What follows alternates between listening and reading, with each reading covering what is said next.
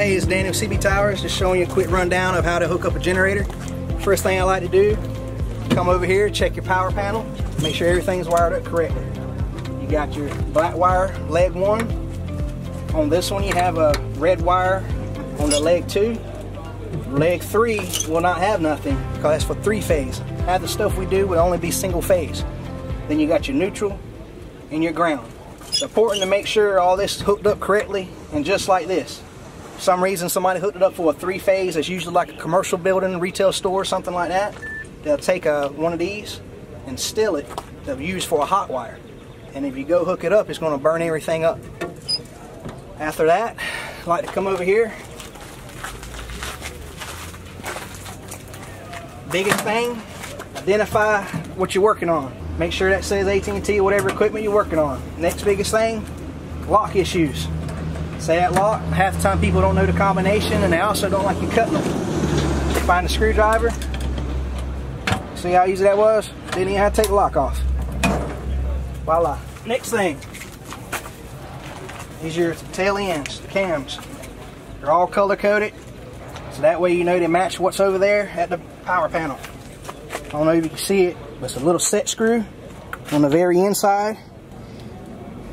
And also, underneath here, you'll see a flat part. That set screw's got to go to the flat part. Sometimes that's turned sideways.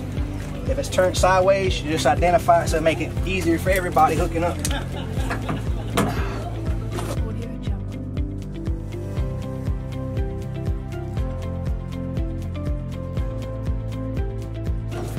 When you get them twist, just give it a little yank. That little screw will keep it locked in there. All right, other than that, come over here. It's a cutoff switch, mainly for when it's sitting in the yards. It'll be a cutoff switch, so none of the power will be wasted on it just sitting. This one's right here. Sometimes there'll be one on the side right here, or either on the battery terminal itself, just a simple throwdown contact. Cut that on. Come on this side. Uh, you hear it beat buzzing, it means it's on. Emergency safety switch, just slap that. In case something happens, and it'll kill the whole unit. It'll cut off. Pull it out so you can engage it. You got a run, a off, reset, and an auto. This generator is capable of sitting on site, maintaining power in case of emergencies. So usually it'll be a fixed generator, and that's what we put on auto. That way they can program it, it's set, cycle, do maintenance on it, all that stuff. But this one's portable, so we always cut on run.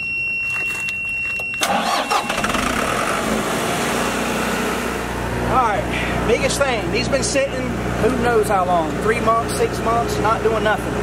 Let it run, let all the lubricant cycle, rotate all that stuff, don't want to cut it on, throw a load, short something out.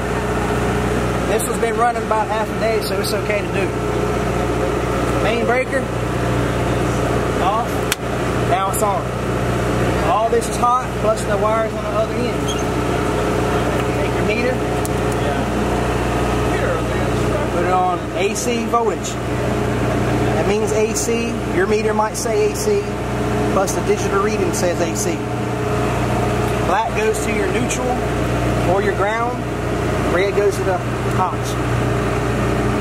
So check that, we're getting 140.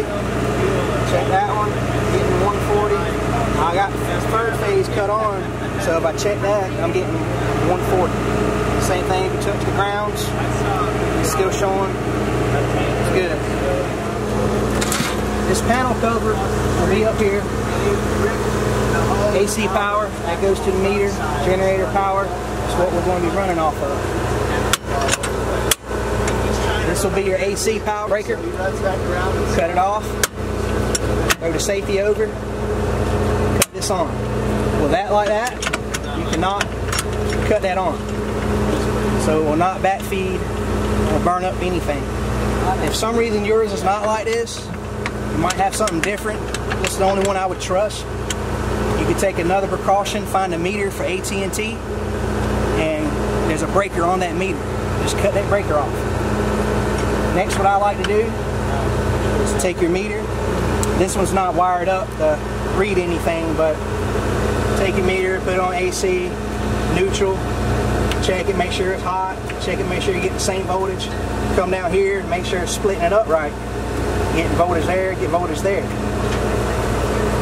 Something might have happened right here where it's shorted out and it just might not be reproducing the right uh, voltage on each leg.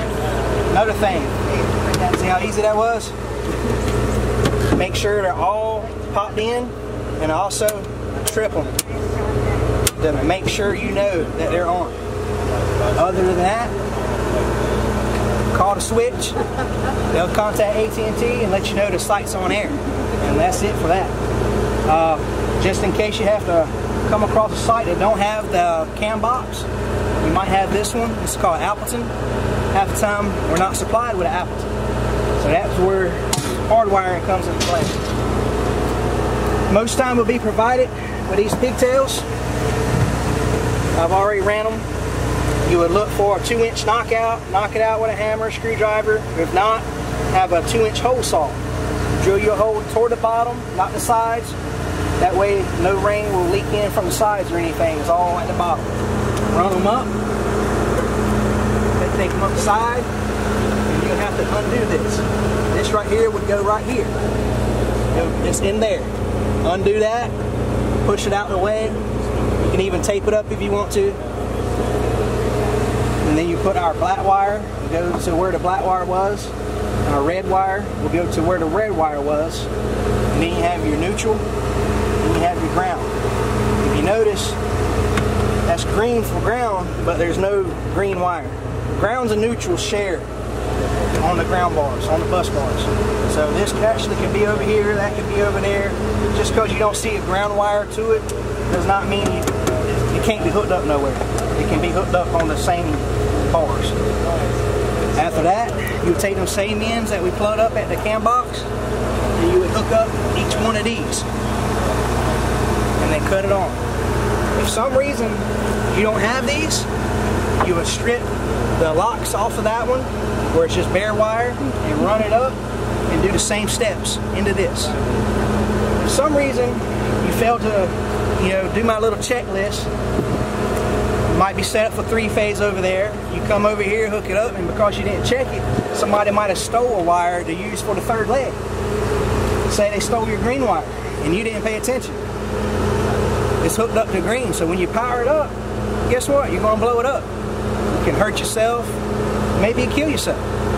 And also, you'll damage all the equipment and burn the generator up. You come around the backside, this is what it could look like if you burnt the equipment up. It's pretty much all melted, welded down. And if that happens, all that is producing spark out to you.